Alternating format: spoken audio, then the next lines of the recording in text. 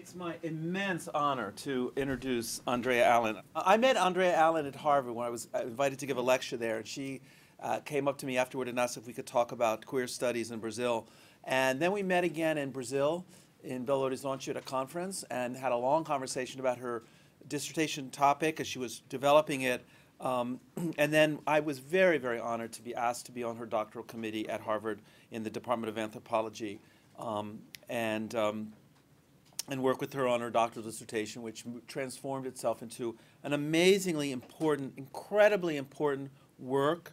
Uh, the title, uh, Violence and Desire in Brazilian Lesbian Relationships, is going to be published by Palgrave. It was published by Palgrave in 2015 and is an extremely important pioneering work on lesbian studies, same-sex studies in Brazil. There's very little literature there, very little good literature, and this, it, her work is just kind of an, a model for future scholars, both Brazilian and others, to do that. Um, Brown um, Brazil Initiative has been focusing this last two years on really uh, identifying and bringing to campus the top Afro-Brazilian and African-American scholars working on Brazil as a way of really uh, emphasizing the importance that they played in scholarship. And so uh, this is one of the many reasons why we wanted to have uh, Andrea among the people we've invited this semester. She, as I mentioned, received her PhD in anthropology uh, from Harvard and is a lecturer in the Department of Women's Studies and Feminist Research at the University of Western Ontario. And she is currently conducting an ethnographic research project about the experiences of LGBT uh, evangelicals in Brazil. Andrea.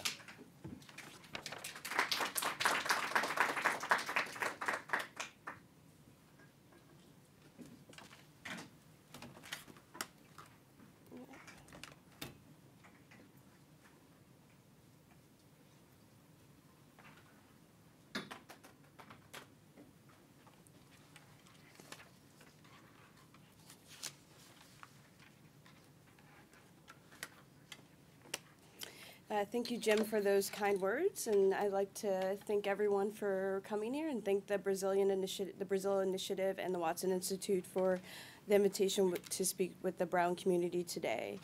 Uh, in this talk, I will discuss my book, Violence and Desire in Brazilian Lesbian Relationships, which focuses on the lives of women, primary, primarily Afro-Brazilian women, in same-sex relationships in Salvador.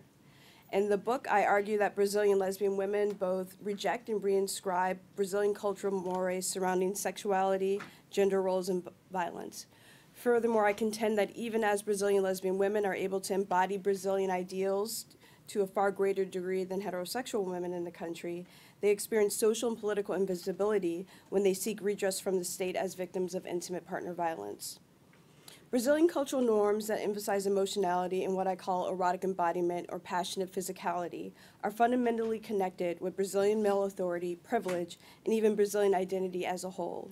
Within Brazilian culture, whiteness, maleness, and wealth characterize the ideal romantic and marital partner who is also the indisputable recipient of brown and black women's sensuality and sexuality. The intertwining relationship between emotionality, erotic embodiment, and white masculinity produce cultural norms that emphasize men's sexual dominance and freedom, which ultimately endorse or at least rationalize their extramarital or extra-relational sexual activities. Consequently, heterosexual women are limited by their cultural and social position as the passive submissive partner in a romantic relationship with men. Furthermore, because Brazilian women, especially black and brown skinned women, must grapple with essentialist notions about their lascivious natures, their, their sexuality remains the purview of boyfriends, husbands, and even Brazilian society, which can be construed as the masculine partner writ large. In contrast, I argue that lesbian women are more able to occupy this masculinized space and indulge their emotive and bodily desires and pleasures. This social and romantic occupation of masculinity can be perceived as a rejection of heterosexual relationships and, by extension, Brazilian patriarchal power. Yet lesbian women's paradoxical rejection through appropriation of Brazilian cultural norms also influences the presence of intimate partner violence, IPV, in their relationships. Intimate partner violence, I contend, reflects in part Brazilian lesbian women's reproduction of Brazilian cultural ideals that associate emotionality and passionate physicality with power and physical violence. Before I discuss my ethnographic findings, I will briefly describe the phenomenon of intimate partner violence in Brazil and throughout the world for both heterosexual and same-sex relationships. Next, I will detail the development of racialized, gendered, and sexualized tropes in Brazilian history, which, I argue, have influenced the presence of IPV in Brazilian society. These national, global, and historic, historical contexts will provide a framework for understanding lesbian women's experiences with infidelity and IPV in Salvador.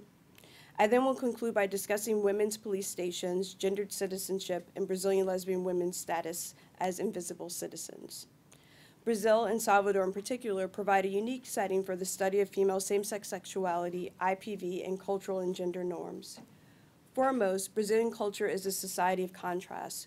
For example, while, while there have been numerous legislative and legal advancements in the area of LGBT rights, many LGBT Brazilians experience familial ostracism, verbal harassment, workplace discrimination, and violence. For example, a recent survey by Grupo Gay da Bahia found that one LGBT Brazilian is murdered every 25 hours in Brazil. Brazilian heterosexual women as well are vulnerable to experiencing violence. Until the early 1980s, men were granted virtual impunity for crimes against passion or for defending their honor and murdering their girlfriend or wife because of their sexual betrayal. Only in 1991 did the Brazilian courts deem the defense of honor argument impermissible in court. Currently, murder and other extreme acts of violence are no longer tolerated in Brazilian society, and further reforms have been made, culminating in the implementation of the groundbreaking Maria da Penha law in 2006. This law was named after a woman who was victimized when her husband attempted to murder her twice, and she was then further victimized by the Brazilian state through its apathetic and pathetic actions with regards to prosecuting, convicting, and incarcerating her husband. The Maria da Penha law, as well as the creation and expansion of police stations that only serve women, demonstrate that significant life-saving reforms have occurred in Brazil. Despite these advancements, there continues to exist a cultural space in Brazil for perhaps what one could call mild forms of violence, such as pushes, shoves, and slaps in romantic relationships. This acceptance is, is exemplified in the common Brazilian phrase, entre tapas e beijos, between slaps and kisses.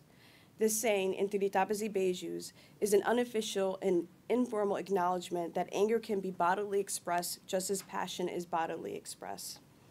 Based on the continued evolution of the government's response to IPV and cultural discourses about acceptable behavior in romantic relationships, there seems to be a limited acceptance of physical aggression between a Brazilian husband and wife or boyfriend and girlfriend. Even though allowances are made, this space is not gender neutral. Yes, incidents of Brazilian women slapping their men upon finding out about their husband's sexual betrayal is not uncommon or perceived as culturally out of the norm. However, the use of violence in Brazil, as in many parts of the world, is not associated with women, but with men who are considered the dominant partner in a heterosexual relationship. A man's use of violence culturally comes from a place of authority, while a woman's violent act is construed as a defensive action, her way of acting out. It is important to note that not all Brazilians have violent encounters with their lovers or consider violence as an acceptable form of communication in a romantic relationship. Furthermore, extreme and severe acts of violence and the infliction of bodily damage are condemned and no longer tolerated to a degree never before seen in Brazilian history. Yet the use of any form of violence has not been completely erased or denounced within the Brazilian cultural framework. Typically, descriptions of intimate partner violence within Brazilian society and worldwide are heteronormative and androcentric in nature men perpetrate violence against their female romantic partners. Unfortunately, this form of intimate partner violence against women occurs throughout the world, though countries and regions have differing rates of prevalence, ranging from 10% to 70%. Findings about Brazilian women's experiences with IPV have concluded that roughly one third have been physically assaulted at least once in their lifetimes. In comparison to the United States, a recent CDC study found that American women experience physical violence in their romantic relationships with men at a rate of 30%. Despite the association and framing of IPV with, as a heterosexual problem, studies in North America on IPV and lesbian relationships have found that anywhere between 30 to 40% of the surveyed women have had at least one experience with physical assault in their same sex relationships. Because many of these studies are quantitative, there's a level of complexity absent from the analysis that calls for the execution of ethnographic research on this subject matter. When I first began conducting fieldwork in Salvador about lesbian women, I was interested in investigating the relationship between nationalist ideologies and discrimination against lesbian women in Brazil. But as so often happens in the field, the focus of my research evolved and transformed through my prolonged interactions with lesbian women in Salvador. Time and again, women told me stories, often nonchalantly, that involved physical altercations between them and their female lovers. Intimate partner violence between lesbian women was a phenomenon that I could not ignore. I conducted 15 months of ethnographic fieldwork in Brazil, and my ethnographic data primarily derived from my interactions with women from three social networks in Salvador. The first network consisted of Afro Brazilian and black working class and poor lesbian women. The second, a group of middle and upper middle class white and non black lesbian women. And the last network consisted of Afro Brazilian and black women who were involved to varying degrees in black, lesbian, black feminist, or black activist movements. Drawing from these three networks, as well as other interactions, I gathered ethnographic data that consisted of interviews and observations from personal interactions, informal interviews, and participation in LGBT activities. Formal interviews with lesbian women were particularly important to the execution of my fieldwork, which I conducted with 38 women of disparate socioeconomic, educational, religious, and racial backgrounds. Of the 38 women, roughly 60% or 23 had experienced at least one incident of physical aggression as the perpetrator and or victim in a romantic relationship with another woman. I specifically use the term physical aggression here to acknowledge that intimate partner violence is not always physical in nature, as emotional, mental, psychological abuse, intimidation, and stalking are all forms of IPV as well. Another finding from my research connected physical aggression with the emotion of jealousy, desire for domination and power, and especially with the act of infidelity or traição, betrayal in English. Of the 38 women in the study, 22 self reported engaging in traição. It is important to clarify that while there were often correlation between the two groups of women who had both engaged in traição and experienced IPV as a perpetrator and or victim, not all of the women identified a causative relationship between a specific act of traição and a specific act of physical aggression.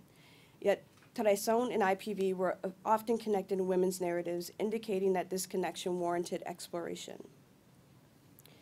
Integral to this exploration has been an analysis of the roles of Brazilian cultural narratives in shaping ideologies surrounding sexuality, gender roles, and emotionality in Brazilian culture.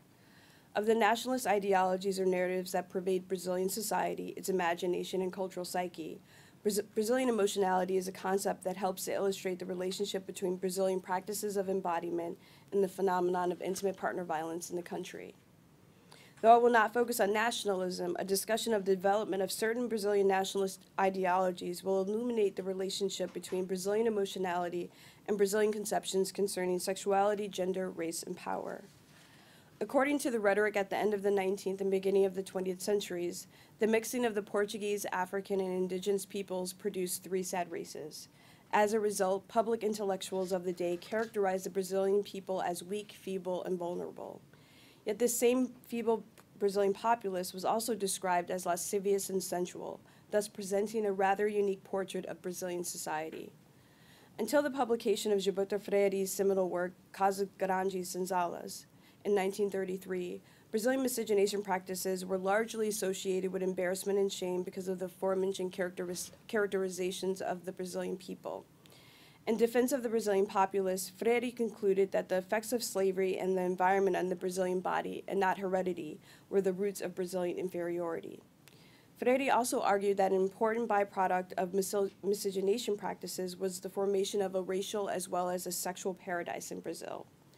In order to make this argument, Freyre openly employed the language of sadomasochism, racial eroticization, sexual exploitation, and patriarchal privilege as evidence for his assertions. Freyre's apologetic work was highly influential in the transformation of national and international notions about the Brazilian people. Thus, the Brazilian people were not weak and feeble, but a wondrous melange of virility and sensuality. For Freyre, Brazil's racial democracy was intrinsically connected with, the Brazilian, with Brazilian sexuality and emotionality. Alone, Gilberto Freyre cannot have transformed the Brazilian cultural psyche or raised the country's self esteem. He was on the precipice of a larger nationalist movement burgeoning in Brazilian intellectual and governmental circles, culminating in the election of Getulio Vargas under Brazil's new constitution in 1934. Vargas and his administration employed ideologies sim- similar to Freyre's as effective tools in a strategy of offensive nationalism. Vargas himself was posited as a father figure akin to a Mediterranean pater familias. Vargas was the father and man who was honorable, virile, gregarious, affectionate, and most importantly, fully in charge of his family, the Brazilian nation. Although Vargas's father figure did not share all the attributes of Freyre's patriarchal arch- archetype, both representations did share aristocratic mentality. The centrality of the patriarchal figure to Brazilian nationalist discourses underscores the similarity between Vargas's father figure and Freyre's Port- Portuguese colonizer and Brazilian master. Both were in the position to control and dominate those who were considered inferior to them. The intertwining of Vargas's and Freyre's patriarchal, patriarchal tropes enabled the production and promulgation of the image of a complex male leader as a figurehead of Brazilian society who could subjugate and woo the Brazilian populace at the same time. While other nationalist ideologies and movements have developed and influenced Brazilian society over the years, scholars and I have argued that the nationalist foundations laid during the Vargas administration continue to influence Brazilian culture in the present day. The influences of these ideologies can be seen in the continued elevation of whiteness and masculinity and the pervasive eroticization of brownness, but not blackness, and femininity in Brazilian society. While the ideology of Brazilian emotionality is pervasive in Brazilian society, equally pervasive ideologies encompass gender and sexual expectations. Central to discussions about eroticism and sexual pleasure in Brazil are dominant and mainstream constructions of sexual roles that focus on men's bodies and sexual masculinity. Within Brazil's sexual universe, the active passive sexual framework prevails as the guiding principle that governs sexual activities, activities, activities and practices because real men are esteemed as the active partner in a sexual encounter with a woman or another man. The masculine partner is the penetrator or the eater of his feminine partner, who's the penetrated or the receiver. Having anal sex with another man, therefore, does not detract from one's manhood as long as one is in the active dominant sexual position. On the other hand, men are positioned or considered emasculated if they occupy the feminine passive position, thereby making them weak and vulnerable like women. It is important to note, however, that beginning in the mid 20th century, Brazilian sexual categories began to emerge that were not built upon an active passive sexual paradigm. Instead, a focus on sexual exchange emerged where both partners were neither active nor passive. While the emergence of these sexual categories signaled a transformation of Brazil's sexual universe, it continues to be clear that the active passive sexual paradigm prevails in the 21st century. A perusal of Brazilian television, popular music, Brazilian culture as a whole evince this reality. The dominance of this sexual framework is significant because it points to a directionality in the flow of pleasure during a sexual encounter. And this sexual directionality represents the flow of power as well. For example, while in recent years there have been more there has been more discussion about women's orgasms in Brazilian society, it is generally the male active part- participant's orgasm that is the focal point in the sexual encounter. This sexual and gender hierarchy is also reflected in cultural ideologies about infidelity, or traição. Despite notions of Brazilian emotionality, sexual betrayal cannot be equally employed by Brazilian women and men. One recent study of adults between 20 and 50 had the rate of infidelity for men at 67% and for women at 23%. Thus, women can be full of emotion, but not full of sex, because their bodily desires should be restrained. Yet Brazilian women are, women are also expected to be passionate and intense human beings who, as women, are innately sensual and seductive temptresses. In contrast, Brazilian men can indulge their sexual whims at will, demonstrating their prowess, virility, and dominance. On the other hand, a woman's philandering behavior is still considered a taboo in Brazilian society because a man's lack of control of his wife's sexual behavior demonstrates that he is passive, feminine, and submissive in the relationship with his female partner. Clearly, infidelity in heterosexual relationships has gendered implications. Despite the fact that lesbian women in Brazil are influenced and shaped by the same gendered and sexual paradigms that govern heterosexual women's sexual behavior and responses to infidelity, the experience of lesbian women with traição resembled the behavior and attitudes of some Brazilian heterosexual women, men. Of the 38 women I formally interviewed, the fidelity statuses were discussed with 31 of these women. and of the 31, only nine self reported a continual status of sexual faithfulness to present and past lovers.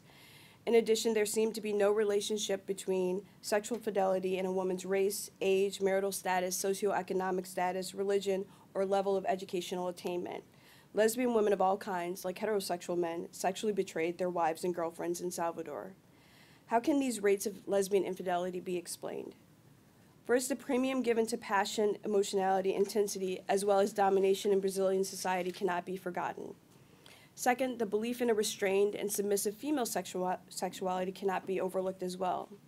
Thus, within a lesbian context, an emotive Brazilian lesbian is not constrained to a large degree by the cultural and sexual ideologies placed on women in heterosexual relationships. Therefore, women in same sex relationships have more freedom to disregard heterosexual and heteronormative constructions of women's sexuality, and this freedom even transcends gender roles. There appeared to be no substantial correlation between gender identity and and outside the bedroom and infidelity, both masculine and feminine identified lesbian women were perpetrators. I did observe, however, that for some women who identified as the active sexual partner, they expected sexual fidelity from their sexual partners, but not from themselves, mirroring some heterosexual men's attitudes about their women's sexual fidelity.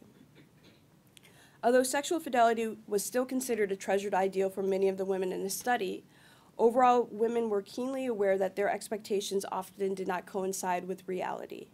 In fact, some women blatantly acknowledge that their sexual desires overwhelmed their belief in sexual fidelity. Alas, a conundrum unfolds for a certain type of Brazilian lesbian woman. Even as she acts like a Brazilian man in sexual affairs, she expects her female lover to be sexually faithful like a heterosexual woman. Overall, Brazilian lesbian women have more freedom than heterosexual women in their sexual decision making because they can experience Brazilian erotic embodiment from a standpoint that acknowledges the uncontrollable carnality of desire as a superior ideal in relation to sexual fidelity. The seeming liberation of lesbian women does not negate the reality that there can be negative consequences for all parties because of a belief in unrestrained emotionality and erotic embodiment. The most pronounced of these was surely intimate partner violence. This interstitial space that lesbian women inhabit in Brazilian society is illustrated through analysis of their experiences with infidelity and IPV. On one hand, their acts of infidelity demonstrate that lesbian women are not completely beholden to heteronormative power structures. However, their violent behavior towards each other directly relates, I contend, with these very same systems of domination. The manifestation of intimate partner violence in lesbian relationships occurs in part because the elevation of passion and bodily pleasures as almost sacrosanct creates a space for the emergence of both physical aggression and the acceptance of this sanctioned bodily response. It is important to be clear that I am not arguing that the Brazilian that the idea of Brazilian emotionality, the belief that Brazilians are a passionate, intense, and emotive people, and infidelity and jealousy are the only reasons or factors that influence the presence of IPV and romantic relationships in Brazil. There are myriad factors that are involved, some of which I will soon discuss. However, for the lesbian women I encountered in Salvador, these topics were often mentioned and connected with violence in their relationships. As I previously mentioned, roughly 60% of the women in my study experienced IPV in the form of physical violence as the perpetrator and or victim. Their experiences of perpetrating physical violence or being physically assaulted spanned a wide spectrum. A single incident of a slap on the face, a push or shove on the shoulders, burns by a cigarette, or repeated incidents that involve punch, punches and kicks to the body. In addition, the ways in which women discuss these experiences conveyed the complexity and at times the amb- ambiguity of their feelings about them. For example, some women did not consider certain physical acts as forms of violence. During formal interviews, when I would ask if they ever had a physical fight with their girlfriend, some women would answer in the negative. However, later in the interview, in response to another question, the same women would mention acts of physical aggression. Two women, for example, were slapped in or pushed by their respective female partners because of sexual betrayal. Yet they considered these incidents so minor and insignificant in comparison with more extreme forms of physical violence. Even though there was disagreement about what constituted a violent act among the women in the study, there was widespread agreement that sexual betrayal and jealousy were the primary reasons for the occurrence of violence in their relationships. In addition to these factors, a, a minority of women also indicated that power struggles were influential, resembling heteronormative power dynamics that connected male anger about a female lover's infidelity with the fear of a loss of power or a challenge to a man's authority as the dominant partner. Since a heterosexual woman's sexual betrayal is an important indicator of a man's lack of control, it is understandable that a lesbian woman who considered herself the dominant partner in her same sex relationship would also perceive her female lover's sexual betrayal as an outright challenge to her authority. Because gender dynamics not only influence heterosexual relationships, but same sex relationships as well, an association of IPV with masculine lesbian women was not atypical. In fact, many lesbian women I encountered considered women who identified with a masculine gender identity, bofe in Portuguese, as the primary perpetrators of IPV. Three women in my study who specifically identified with a masculine gender identity had perpetrated intimate partner violence in their relationships with legi, femme, women. Yet all had also experienced some form of physical aggression by their legi partners as well. Overall, many women in the study who perpetrated physical violence did not identify with a masculine gender identity or have a masculine appearance. Their, their experiences indicate that to associate masculinity with violence in lesbian relationships elides the complicated and frankly muddy, muddied, muddled reality of lesbian women's use of physical force. Another consequence of the association of IPV with gender identity was the fact that many, regardless of a woman's socioeconomic status, associated physical violence with working class and poor lesbian women. Considering the vast majority of masculine identified lesbian women in Salvador are working class and poor, this association was understandable from their standpoint. Even more so for the upper middle class non black lesbian women in the study, IPV was innately tied to gender and class. Some were incredulous that women in their social circles would and could engage in such behavior. While I too observed within my study a higher prevalence of IPV in lower class lesbian relationships, of the nine upper middle class educated non black women in the study, three had been involved repeatedly in mild forms of physical aggression, and another woman had mentioned that she was slapped by her girlfriend on one occasion. The fact that four out of nine had experience with IPV indicates that this violence can transcend gender identity as well as class lines. Despite the fact that lesbian women of various backgrounds experience um, intimate partner violence, one commonality among them was that they were those who were victims of intimate partner violence did not seek assistance from the two women's police stations in Salvador or from any other governmental entity.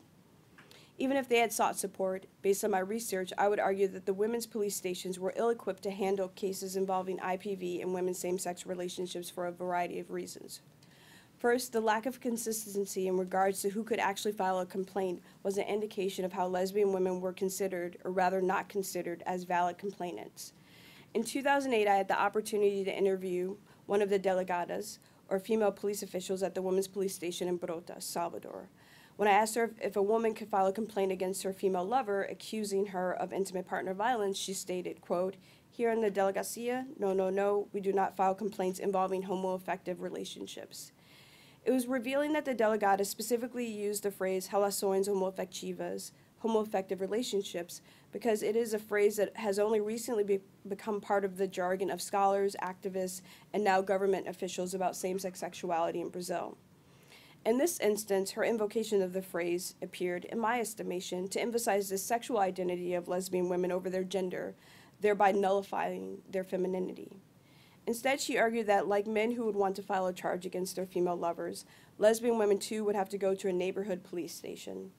Five years later, when I returned to the women's police station in Brotas, and I also went to the one in Periperi, everyone I interviewed contradicted the delegado who spoke with me in 2008.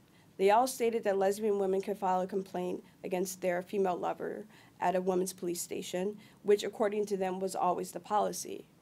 Their statements appear to demonstrate that lesbian women do have equal access to all the services provided to heterosexual women, thereby refuting any allegation that they are unequal or second class citizens in Brazil. On the other hand, I had heard of inc- one incident in which a lesbian woman was rebuffed when she attempted to file a complaint at the women's police station in Brotas. While anecdotal, this occurrence demands attentiveness to the possibility that lesbian women could experience obstacles. Furthermore, once I was told that lesbian women could be complainants, I inquired about the number of lesbian women who had actually registered a complaint or who had just visited the women's police station to discuss their victimization. Collectively, the six WPS personnel I interviewed at the, both the Brotas and Periperi Women's Police Station had dealt with no more than 10 cases, among them which involved a lesbian couple in a five year span. To provide a context to understand the insignificance of this number, 11,036 complaints were filed by women in 2013 at the women's police stations in Brotas and Periperi, the year that I visited both of them. Thus, I would argue that based on these interviews and the experiences of lesbian women in Salvador, that while Brazilian lesbian women may have the legal right to file a complaint against their female lover, this does not mean that they have the cultural right to do so. One could argue that the lack of lesbian complainants could merely be an indication that women do not desire to file complaints against their female lovers because they would want to be discreet about their relationship problems or are ashamed. As I've argued elsewhere and can discuss further during the Q&A, a focus on lesbian discretion is less an example of the naturally discreet nature of lesbian women and more the consequence of the demand for them to be silent and invisible. If women are reluctant to go to their neighborhood police station to file a complaint against a male abuser because they fear the machista culture of the police, it is improbable that a lesbian woman would not seek the service. Is it improbable that a lesbian woman would not seek the service of a woman's police station because of homophobia that pervades Brazilian society? Even if a lesbian woman decides to visit the WPS in Salvador, she will not be attended by personnel who are trained in relationship to intimate partner violence in same sex relationships. I was told as much by the psychologist and social worker who were employed at the WPS in Brotas. While the personnel there and at the Periperi station appeared to be sincere and committed to their work as advocates for women, their lack of awareness of the issues that lesbian women face was a form of erasure that had implications for the treatment of lesbian victims and perpetrators of intimate partner violence. Lesbian women's perpetration of intimate partner violence does not occur in a vacuum. Fundamentally, IPV is a very personal experience, but is an intersubjective experience as well. In Brazil, cultural ideologies endorse im- images of Brazilians as a emotional, passionate, intense people whose sexuality oozes from their pores. One of the consequences of this oozing is the perception that Brazilians' intense passion can lead to bodily expressions of anger and pain through IPV. In particular, incidents of jealousy and sexual betrayal contribute to the manifestation of these bodily expressions, especially for Brazilian men, whose authority and dominance can be threatened by even the implication that they are not in control of their heterosexual relationships. Control and dominance are constant themes throughout Brazilian history, and these themes are strongly associated with masculinity and power.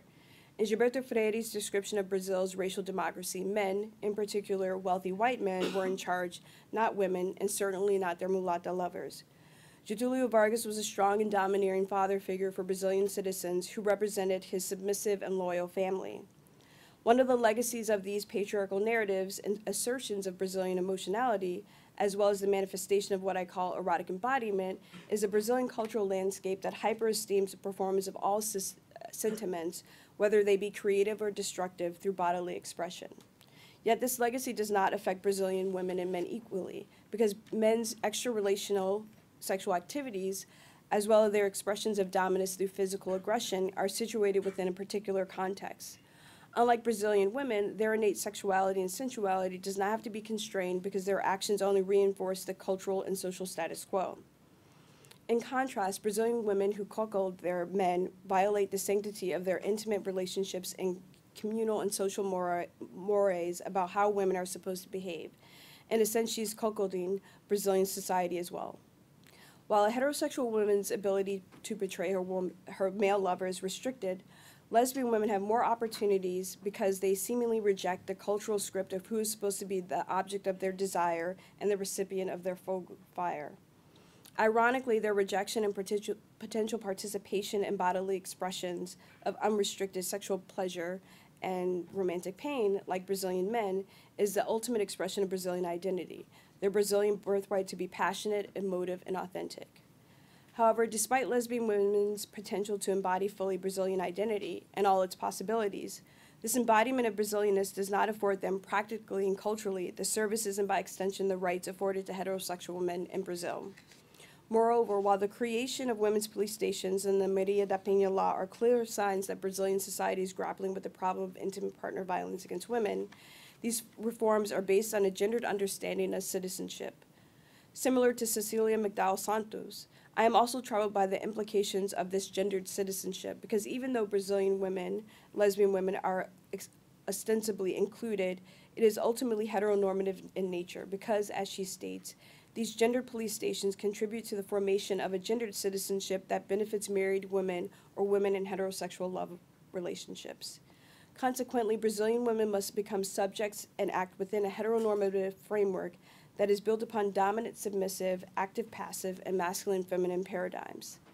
The combination of a masculinist police culture, conceptions about the role of women's police stations, and the heteronormative mission of these stations effectively disenfranchise lesbian women.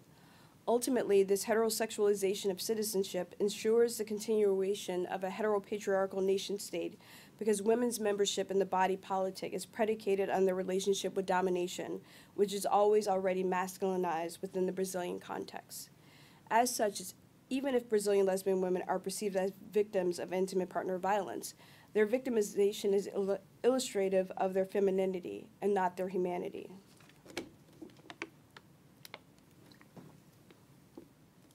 The treatment of lesbian women is indicative of specific ideological forces at work in Brazilian society as a whole, forces that are gendered, sexualized, and racialized.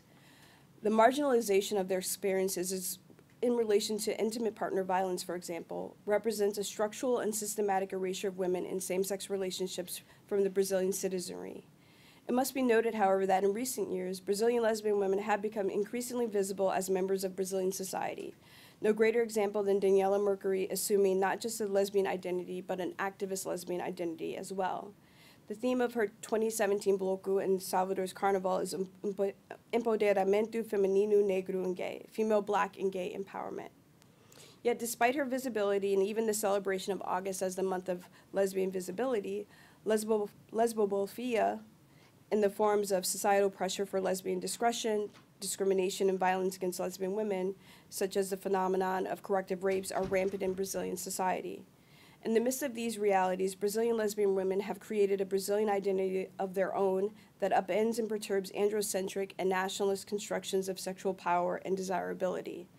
Similar to other marginalized populations, Brazilian lesbian women are not merely passive victims of unequal power relations and stigmatizing discourses.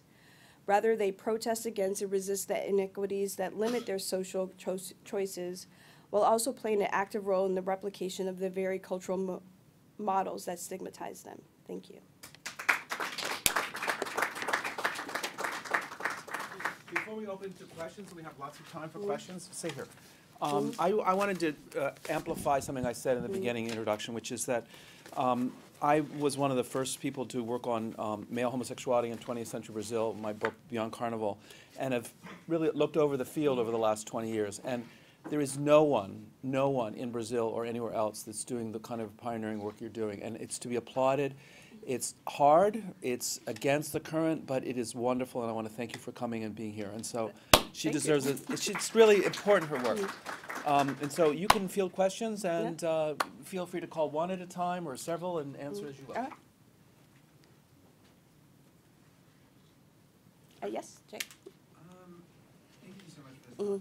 Um, I was just wondering if you could talk a little bit more about, um, maybe even the, just the geography of the police, women's, uh, the women's police stations within the city of Salvador, and Mhm. if you see any, um, um, other kind of structural and infrastructural, um, kind of limitations on, um, complaint filing in terms Mhm. of, um, hours that they're open, um, um, uh, so you have, you said that there was a psychologist and a social worker, um, um, on staff. Um, noticed that on a lot of the like, Brazilian social service administration, there's always a lawyer, a psychologist, and kind of a social worker, kind of trio, like if there, if, if kind of case management is, Mhm.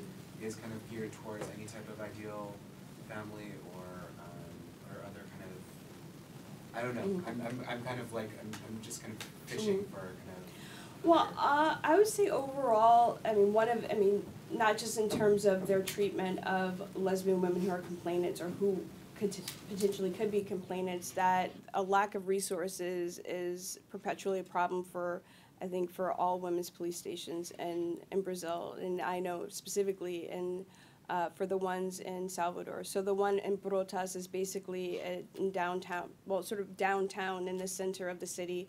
And then Periperi is in the periphery of the city. And so Periperi, the one there was smaller and they had le- less personnel there. So the one at Brotas, they had, I mean, they, for, you know, Salvador has three million residents, and they basically had, I believe, two psychologists and one social worker on, on staff.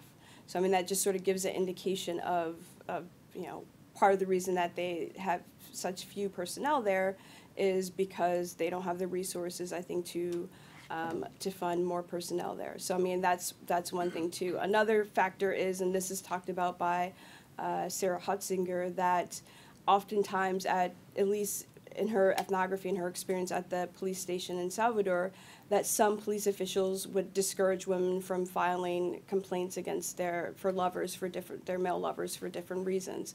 So I think these factors involve in terms of infrastructure, the lack of funds, and also I think the police culture in terms of that even though there are female police officials, they still are indoctrinated and socialized within a masculinist and a machista culture that all of these affect the resources that are available for women and then how, you know, once those resources are available, you know, how effective they can be for women.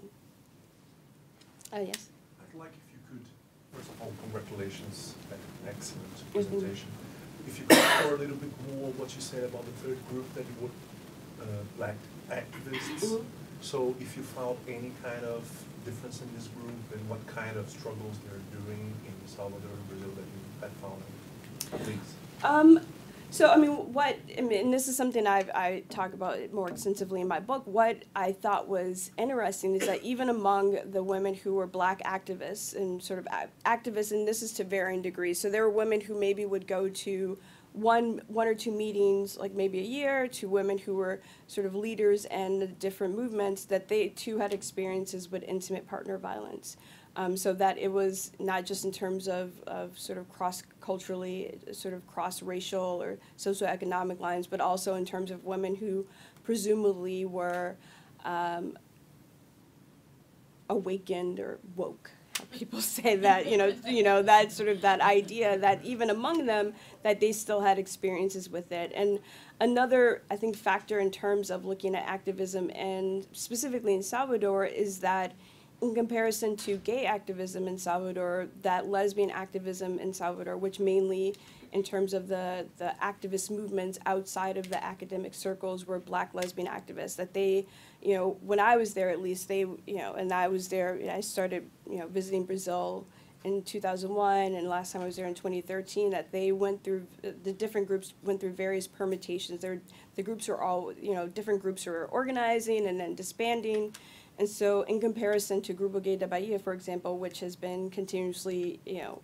Uh, you know, involved working since the early 1980s, that lesbian activism in Salvador seems to not be as well organized, and I think that can be for for different reasons. And I think, you know, because of that, you know, looking at intimate partner violence is, while some people have looked at it in terms of there have been, you know, short pamphlets that have focused on intimate partner violence, uh, sort of a sustained look at it, I think has not been a part of, of their agenda. And I think one of the reasons is because you have such upheaval, or there had been such upheaval.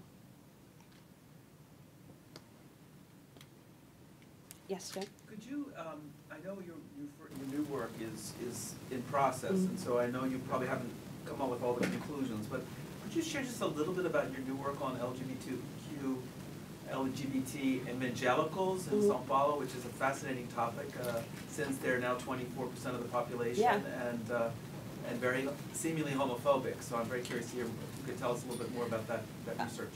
So yes, so this is a new um, project that I've started. I was in uh, Sao Paulo this summer, um, and so I went to several um, evangel- gay and evangelical identified churches. And so I say that because not only were these churches sort of self-identified as evangelical, or self-identified with Protestant, not just Protestantism, but with sort of evangelicalism, they also were self-identified as LGBT accepting.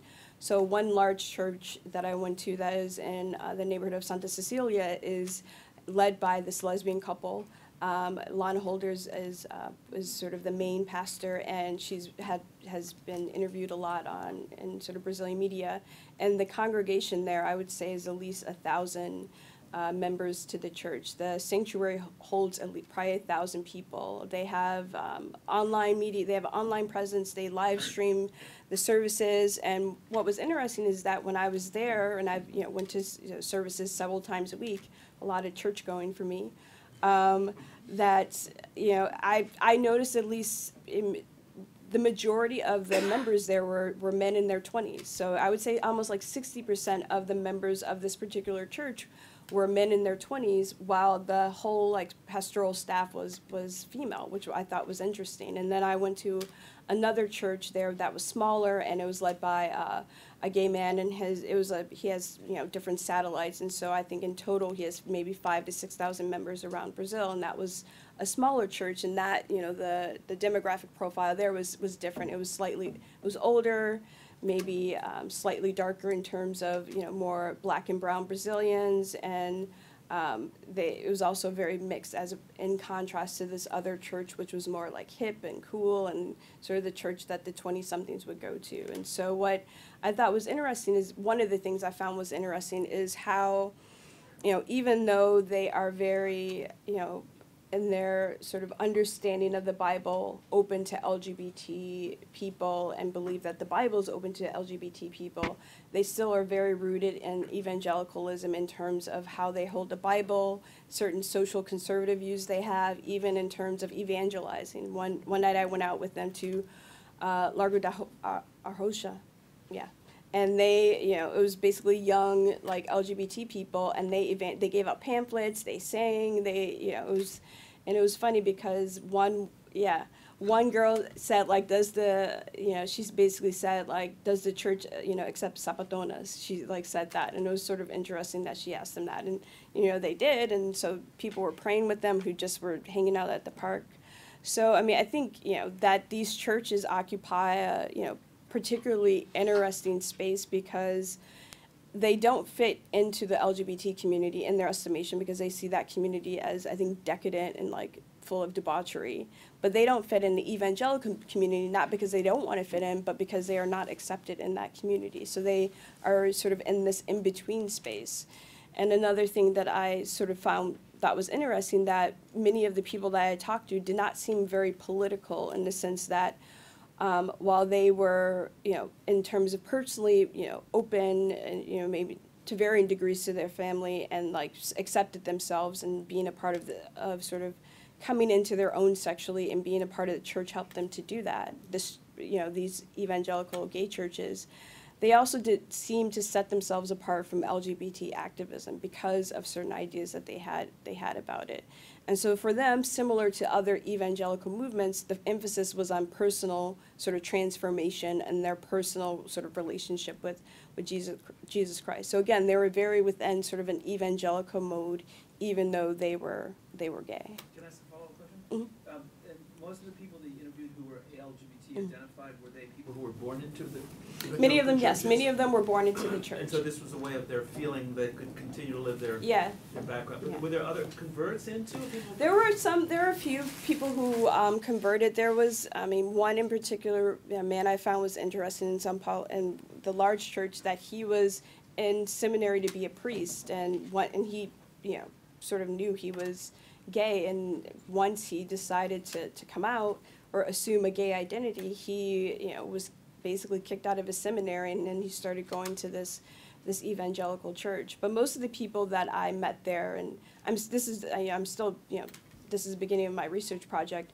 It seemed that they were a part of the church, and then they left the church once they uh, either they left on their own accord or they were kicked out for various reasons, and then they came back to sort of Christianity and their faith through attending th- these evangelical churches. Questions? If not, thank you so much.